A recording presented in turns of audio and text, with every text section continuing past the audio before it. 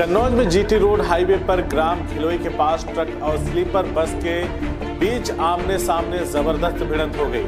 टक्कर लगते ही दोनों गाड़ियों में आग लग गई। कुछ ही देर में दोनों गाड़ियाँ धू धू कर जलने लगी और आग का गोला बन गई। हादसे में स्लीपर कोच बस में सवार कई यात्रियों की आग में जलकर मौत होने की आशंका जताई गई है। हालाँकि अधिकारी अभी ये नहीं बता रहे हैं कि कितनी मौतें इस बस हादसे में हुई हैं।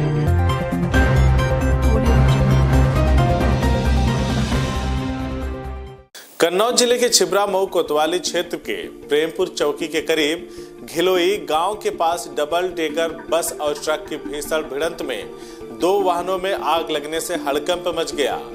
देखते ही देखते बस और ट्रक काफ़ी देर तक जलते रहे। स्लीपर कोच बस फरुखाबाद से छिबरा मऊ होते हुए जयपुर जा रही थी। ट्रक बेवर से कानपुर की ओर जा रहा था। हादसा देर रात करीब आठ बजकर तीस मिनट पर हुआ। मौके पर भारी भीड़ जुट गई। हादसे का अनुमान इसी से लगाया जा सकता है कि स्लीपर कोच बस में फंसे यात्रियों को निकलने तक का मौका नहीं मिल सका। लोगों के मुताबिक, बस के अंदर 60 से 70 सवारियाँ मौजूद थीं, जिनमें से बमुश्किल से एक दर्जन सवारी ही किसी तरह निकल सकी। मौके पर पहुँचे जिलाधिकारी रविंद्र कुमार ने बताया कि किस घायलों को छिबरा मऊ के सौशया अस्पताल भेजा जा चुका है। इस भीषण हादसे का अंदाज़ा आप स्वयं खुद लगा सकते हैं क्योंकि इस पर देश के प्रधानमंत्री नरेंद्र मोदी ने ट्वीट करके इस हादसे में मरने वाले लोगों को श्रद्धांजलि दी है।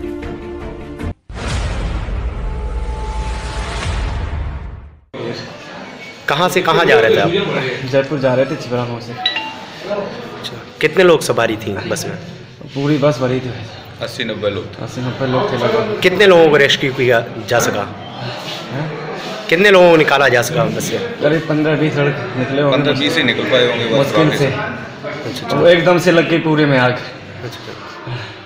वो तो मैंने अचानक शीशा फोड़ के कूदा। हूँ मैं तो अपने बच्चे को बीवी को लेके। मेरे जल गया मैं भी। कहाँ के रहने वाले हैं आप? कुतुब सौरे को सौरे है मामला है गुलैया का। ये गुलैया छिबरा मुँह से थोड़ा आगे पड़ती है चौकी नबीगंज पड़ती है। प्रेमपुर चौकी पड़ती है। यहाँ पर बस में आग लग गई जिसमें जो है 50 से 60 लोग गंभीर रूप से जल गए हैं जो कि बस के अंदर ही हैं। ये बस जो है फरकाबाद से चलती फरकाबाद से छिबरामू छिबरामू से जयपुर। लगभग अभी तक 60 50 60 लोग जले हुए हैं जो अंदर ही बस में हैं बिल्कुल ही जल गए हैं। घायल पाँच छह लोग थे जिनको निकाला गया। वो उपचार के लिए सौसैया संयुक्त चिकित्सालय में गए। मोहम्मद क्या मामला हाँ? मामा की लड़की, बहन और दो बच्चे जयपुर जा रहे थे और ये मालूम पड़ा हादसा इस तरह हुआ तो वह लोग भागे, दौड़े, देखा। तो वो बच्चा तो किस तरीके से लड़का, उसका किसी लोग सहायता से यहाँ तक घर तक पहुँचा गएँगे और वो बहन नूरी इसका नाम है उसकी एक बच्ची चार साल की है सामिया उसका कोई पता ही नहीं लग जाएगा। ये लोग कहाँ के रहने वाले हैं? ये रह- इसकी जो है तो नूरी जो है बहन हमारी उसका यहाँ मायका है और ये रहने वाले गंजोड़वाड़ा के हैं।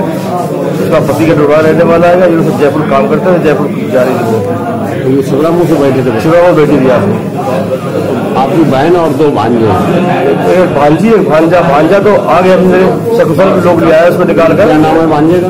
भांजे नाम अनस वो तो आ गया आएगा। कितने साल का है वो? आठ साल का। भांजी क्या नाम है? वो सामिया। और उसकी कितनी उम्र है? चार साल की।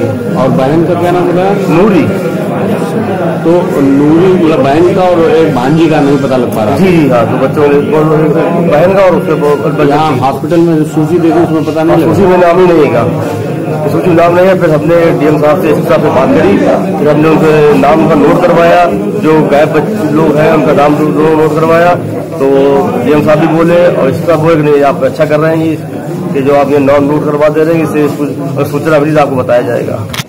जीटी रोड पर, हमारे छिबरामऊ विधानसभा में जीटी रोड पर जयपुर जाती हुई एक बस की एक्सीडेंट हुआ है, उसमें आग लग गई और उसमें बहुत लोग हताहत हैं।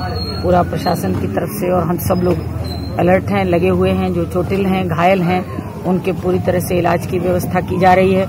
जो बाकी और घटना की जाँच कराते हुए जो संभव सरकार की तरफ़ से प्रयास होगा, वो सबके लिए सहायतार्थ किया जाएगा। सबसे पहले तो ईश्वर से प्रार्थना करती हूँ कि ज़्यादा से ज़्यादा लोग उसमें से बचकर निकलें और उनको उनको स्वास्थ्य लाभ करें। यही आज के दिन इस समय पर केवल कहने जैसी बात है। बाकी तो समय पर सब बातें और ये गिलोई गिलोई के पास पड़ता है हमारे बॉर्डर पर। ये डबल डेकर बस थी और हम लोगों को जो संख्या अभी तक मिल पाई है वो छिबरा मऊ और गोरसाहेगंज से ही मिल पाई है। जो सूचना एकत्रित की गई कि फरुखाबाद की ये बस थी फरुखाबाद में कोई यात्री नहीं चढ़े थे। तो जैसे जैसे हम लोगों को अपडेट मिल रहा है वो हम आपको बताएँगे। अगर कुछ और मिलता है तो आपको बताएँगे। क्या कार्रवाई हो रही है जब तक जो बसें बस में फंसे हैं लोग उनके लिए बस तत्काल उसमें फायर ब्रिगेड इस जनपद की भी मैनपुरी जनपद की भी बुला के उसे आग बुझा दी गई है। और फोरेंसिक टीम बुलाई गई है और सबसे प्रथम वही लोग प्रवेश करके और सारी स्थिति देखें। सीआईबी इंडिया न्यूज़ की सभी खबरों को देखने के लिए लाल रंग की बटन को दबाकर चैनल को सब्सक्राइब ज़रूर करें। घंटी ज़रूर दबाएँ ताकि हमारी सभी खबरों के नोटिफिकेशन आप तक पहुँचते रहें।